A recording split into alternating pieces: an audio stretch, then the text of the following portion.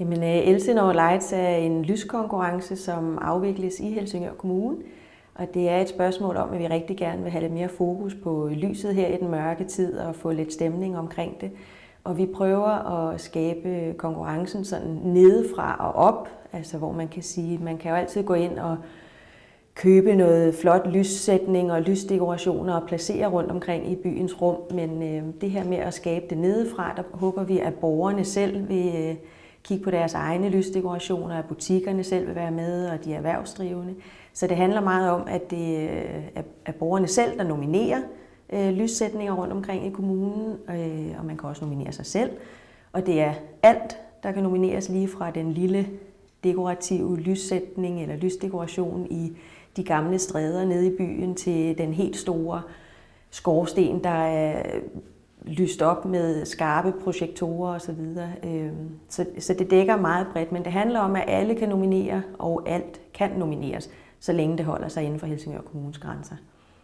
Så og konkurrencen kører hen over en måneds tid, øhm, og i den måned kan man nominere, og vi har så ugens overraskelse, vi kårer en gang om ugen, som er en af lyssætningerne eller dekorationerne, som vi synes skiller sig lidt ud fra mængden, eller har en lidt anderledes tilgang, eller bare er fantastisk smuk i sin, øh, sin sammensætning.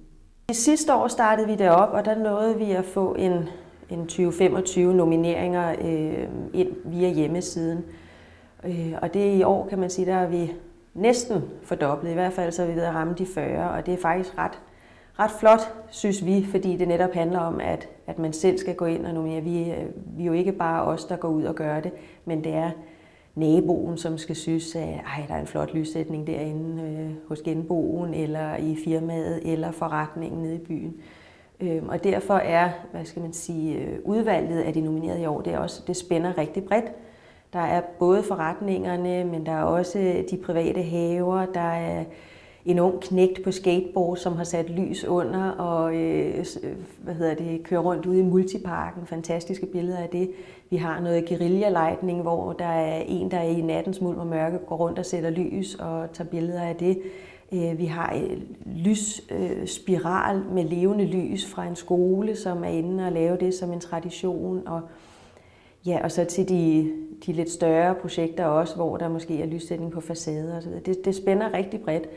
Så øh, vi, vi er glade for, at det er vokset i øh, nogle men vi skulle gerne op og nå endnu flere til næste år, så, så vi slet ikke kan følge med med fakler. Der er jo nogle fantastiske præmier med, øh, som jo også gør, at det, det er sjovt at deltage. Da hovedpræmien til vinderen af Elsinore Lights er et gavekort på 10.000 kroner til Helsingør City, så man kan virkelig få forsøget julen. Øh, vi kårer vinderen på lørdag den 20. Og der får vinderen altså det her gavekort på 10.000. Øhm, derudover så får de æren af at overrække 50.000 kroner, som Lauritsenfonden har doneret. Øhm, og det kan de overrække til et socialt projekt i Helsingør Kommune. Og de sociale projekter, der er med, de er allerede valgt ud.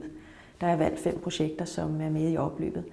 Og det er jo helt fantastisk, at Lauritsenfonden så også bakker op om den her konkurrence og, og donerer 50.000 til det.